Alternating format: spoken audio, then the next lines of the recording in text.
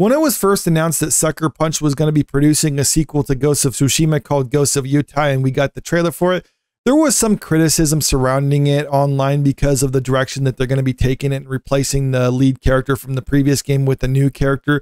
And then people started digging into the voice actors behind the new one and not really happy with the results of what they're seeing so far because she fits the hallmarks of a woke activist type. Uh, and I made a video at the time talking about it where I said, okay, this is some cause for concern, but that doesn't necessarily mean with 100% certainty that the game is going to be going in that direction because she is the voice actress for it. And I'm not necessarily trying to diminish that role in the final product, but her job is just to read the lines. She's not having a creative say in the game whatsoever in this. So, okay, if she's the best for the job, I think that's fine. Doesn't necessarily mean the game's going to be bad because Sucker Punch, I think, has built up a lot of goodwill with the previous game.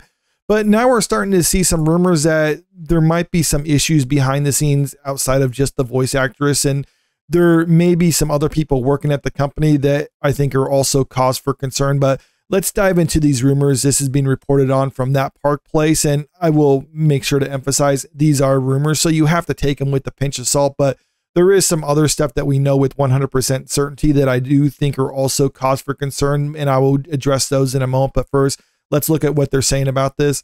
Sucker Punch gutted and repurposed Ghost of Tsushima sequel for Ghost of Yotai. A new rumor alleges that Sucker Punch Productions, the developer of Ghost of Tsushima and the upcoming Ghost of Yotai, gutted and repurposed the planned Ghost of Tsushima sequel and created Ghost of Yotai out of its bones. Now, that right there, I don't necessarily think is the worst thing imaginable. It's pretty common within the video game industry to start a project and take it in one direction, then you change your mind at some point in the production, and you decide to take it in a different direction, but they don't just want to scrap all their files and then delete all of them and then never to be seen again. It's like, no, you're going to try to salvage whatever you can. So if they're trying to repurpose it and take it in a different direction, I think that's okay. But take a look at this next part right here. So these rumors come from YouTuber Endymion, and this is what he said about it, saying basically Sony Japan was upset about being kept in the dark about the changes in the game and quote it does seem there is a huge disconnect between what Sucker Punch knew about this Ghost sequel versus what Sony's PR teams knew. And the reason why I think this is a big deal if it turns out these rumors are true is because one of the things I said in my previous video about the announcement for Ghost of Yotei is that Sucker Punch carries a lot of goodwill. The first game was very popular in Japan. They liked what they were doing with it. So I'm thinking like, okay, if the Japanese like the characterization of it and Sucker Punch is still working on the sequel, then maybe we can give them the benefit of the doubt, even if uh, me personally, I'm a little bit cautious and I think there's some red flags involved with it. But if it turns out the Japanese actually don't like the direction that they're taking the sequel, then I think there is more cause for concern. So supposedly this is what Endymion actually said when it comes to the sequel and what they're repurposing. So it was initially supposed to follow the events of the first game. I mean, the sequel is, but it was supposed to also follow Jin Sakai. He was uh, return. Uh, this time he's a Ronin. He's around the Mount Yotai area, which kind of corresponds with the continuity of the first game and the way that ended. Uh, he was supposed to be around Mount Yotai, and then the Mongols attacked there, and then he kind of does this thing. They decided to scrap that idea and replace him with a female lead, now a new character. And uh, that right there, like I said, isn't necessarily a deal breaker for me. But when you start looking into, into some of the people that has since been hired on to work in the creative roles at Sucker Punch, well, then I think that is a little bit cause for concern when you start looking into some of these people. Uh, uh, first, he pointed out that Jen Lee Lukin, who began work at Sucker Punch in March 2022 as a producer, uh, senior writer and narrative designer for Sucker Punch, uh, Ad, uh, Ad, uh, what is it? Ariadne uh, Martinez uh, began working in May 2023. He also pointed to Courtney Woods, who joined Sucker Punch as a senior staff writer in September 2022. Finally, he pointed to Kelly Snyder, who became a senior producer at Sucker Punch in September 2023. And when I read those names in the article, I started looking up some of those people just to kind of get an idea of who they are and what they're about because I wasn't super familiar with them. I didn't find a whole lot, mostly just their LinkedIn profiles, and you couldn't really see a whole lot from that other than the fact that they had their pronouns in that. Kelly Snyder here, this is the only one I was able to find her uh, X account.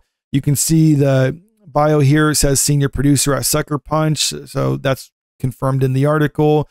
She, they pronouns, rainbow flag here. And I believe that's the lesbian flag in the background of her profile picture.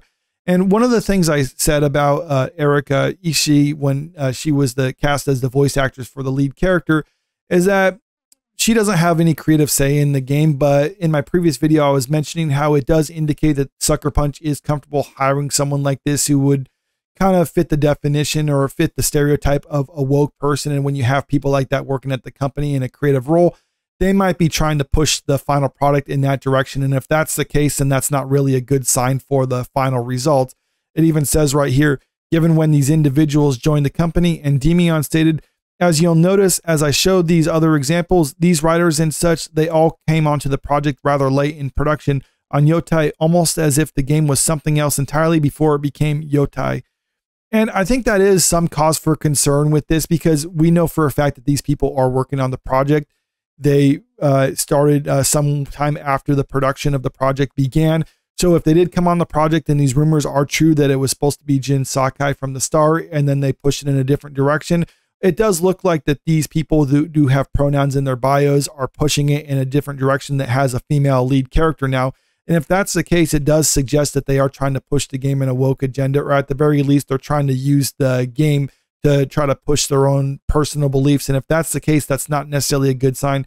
Now, I will say again, I'm not saying with 100% certainty this means the game is going in a woke direction, but there are some things that are starting to stack up, or at least evidence against it that suggests that that's actually what's going on here, even though we can't really confirm anything until we see more at this point. On top of all this information, Endymion also shared that Sony is currently deciding what to price Yotai at and how to promote the game going forward. As I was told, currently Yotai is being considered at Sony to be pushed as a spin off title in the Ghost series instead of a mainline game. This was not the original plan, as I've been told, however. The game was meant to be the next de facto installment and the direction Sucker Punch was going to take this game series. He goes on to talk about other rumors about how they might actually make this not at full retail price, but make it at a cheaper price. The map might be smaller than the previous game. They're going to make it cross platform, all that other stuff. I'm not going to dive into it right now for this video. I'll leave a link to this article in the description of the video, though, if you want to check it out yourself. I'm mostly just commenting on the rumors in regards to the creative direction that this game is taking because we know for a fact that these new people came onto the project uh, somewhere during the middle of the project and they kind of know, fit the stereotype of a woke activist. I'm not saying that's what they're doing, but they do fit that stereotype right there. And they've also came out somewhere in the middle of the project. And according to the rumors, it was initially supposed to be Jin Sakai. Then after these people came on board, then it became a female character and they took it in a different direction. So make with that what you will when you compare what we know about this with what the rumors are. But one of the things I was saying about this game when uh, I first heard about the announcement is that we can give them some of the benefit of the doubt because Sucker Punch did a good job with the first game.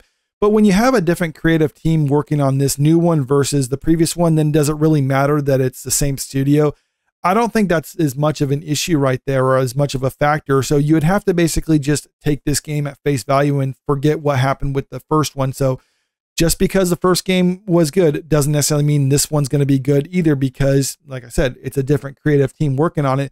And according to these rumors sony japan is actually pretty upset with the direction that they're taking this after they brought in this new team working on it. So i don't know. That's not necessarily a good sign. Uh, i can't really say with 100% certainty obviously whether this game is going to be good or bad or whether it's going to be woke or not because we haven't seen enough the only thing we know now is that we actually have a female lead character, and then some of the more public people working on this in a creative role actually do fit the stereotypes of a woke activist. So I guess we'll just have to wait and see when the final product comes out or when we get more information. Uh, I'd like to see a gameplay trailer, maybe more of a story trailer for this before I can say further what direction I think this game is going. But right now, I would just say there's a number of red flags starting to pop up surrounding it. But let me know what you think about all this in the comment section below. And also, if you haven't already, make sure you click that subscribe button if you want to stay up to date with the latest entertainment news.